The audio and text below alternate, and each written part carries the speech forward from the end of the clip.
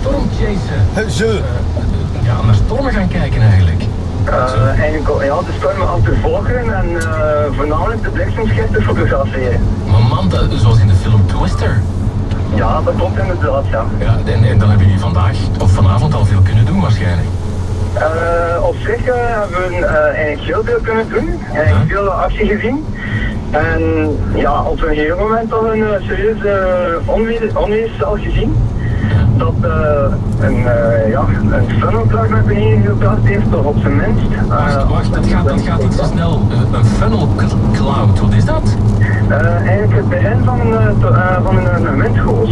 Ja, een bijna tornado zeg maar.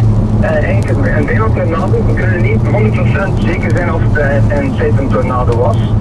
Want we waren op zich de enige chasers, of een van de weinige chasers op die cel. Zeg je in welke regio hebben jullie dat gedaan? Uh, we zaten toen uh, tegen Steenokkersdeel. Ja, niet ver van Brussel dan? Niet ver van Brussel inderdaad. Ja, zeg, en met hoeveel doen jullie dat dan?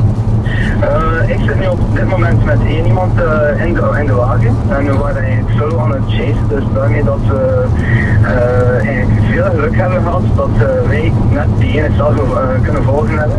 Zo wel. En, en op een gegeven moment toch ook teruggetrokken, teruggetrokken hebben, want we hadden precies zo het gevoel dat we zelf, terug, zelf terugkwamen richting uh, heel terug.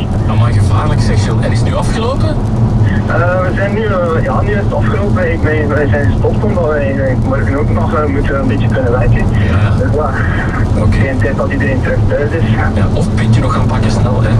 Nou, wel een pintje of wel iets van eten. Of nog iets van eten. Oké, Sil. Ik ben eventjes bekomen van die emoties. Ja, ja, ja. Je bent dan een van die mensen die uitkijken naar dit soort dagen.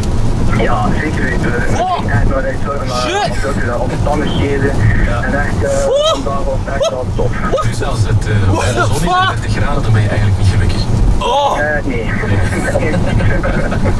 Goed, Jill. Spannende conversatie, man. Amuseer je nog vanavond. En als er uh, nog zoiets is, laat het ons weten, hè? Ja, oké. Okay. Goed, bedankt. Dag, hè.